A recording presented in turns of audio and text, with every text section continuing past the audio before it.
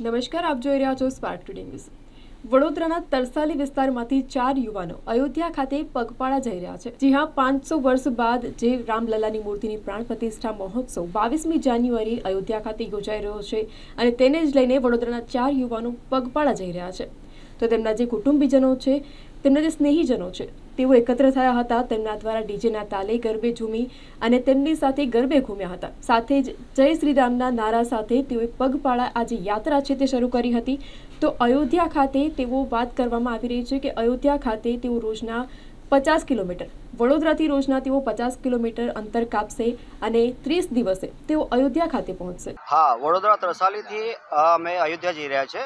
અને આ પાંચસો પચાસ વર્ષ પછી આ રામલલ્લાની પુનઃ પ્રતિષ્ઠા પ્રાંતિષ્ઠા થાય છે, એ બદલ અમે અહીંથી હાલીને રામલલ્લાના દર્શન કરીએ છીએ અને સર્વ હિન્દુને એકત્રિત થવા માટે અમે આ યાત્રા કરીએ, કરી રહ્યા છે કેટલા દિવસની આ યાત્રા લગભગ બાર અહીંથી વડોદરાથી બારસો કિલોમીટરની અંતર છે. તો લગભગ ત્રીસથી બત્રીસ દિવસમાં અમે ત્યાં આ મહિનાની આખરીમાં અમે પહોંચી જઈશું. ત્રીસથી બત્રીસ દિવસમાં અમે ત્યાં પહોંચીશું. હા અમે સંઘ એટલે અમે ચાર જણા છે. ચાર જણ જનારા છે અહીંથી આપનું?